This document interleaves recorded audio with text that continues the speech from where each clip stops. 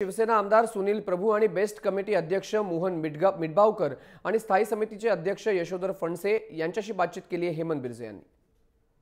मध्य वैतरणाचं नामकरण शिवसेना प्रमुख बाळासाहेब ठाकरे असं हे धरणाचं नामकरण झालेलं आहे आणि ह्या धरणाचं नामकरण मुख्यमंत्री देवेंद्र फडणवीस आणि उद्धव ठाकरे शिवसेना पक्षाध्यक्ष उद्धव ठाकरेंनी केले मुंबई महापालिकेचं हे सातवं धरण आहे जे मुंबई महानगरपालिकेने स्वतः बांधलेलं आहे. या धरणाची क्षमता आहे दोनशे दोन पॉईंट दहा दशलक्ष लिट घनमीटर अशी क्षमता आहे.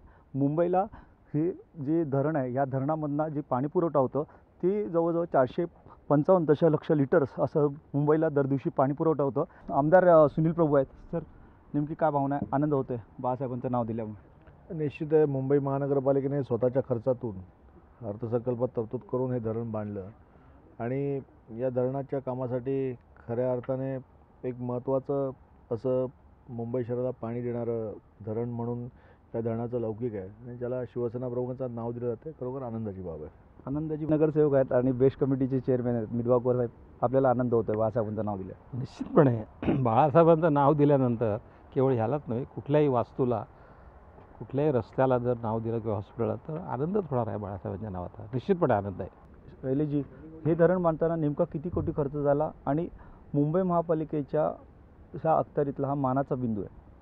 खरं म्हणजे हे धरण अतिशय रेकॉर्ड टाईममध्ये आपण तयार केलं.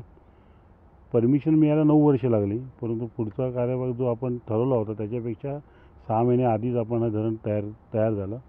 तर खरोखर आज खूप मोठ मोठा दिवस आमच्यासाठी आहे.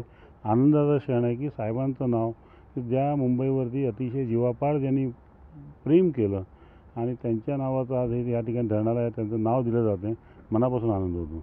मनापासून शिवसैनिकांना आनंद होतो आहे त्याचबरोबर भाजपचे नेते आणि नगरसेवक आणि यांना आनंद होतो आहे आणि हा युतीमधला कुठेतरी सुखकर मार्गही होऊ शकतो कारण धरणाचं नाव बाळासाहेबांचं देणं हे कुठेतरी आनंदाची गोष्ट आहे अशा पद्धतीची भावना व्यक्त होते. व्हिडिओ जर्नलिस्ट राजेश हेमंत बिर्जे जय महाराष्ट्र मुंबई.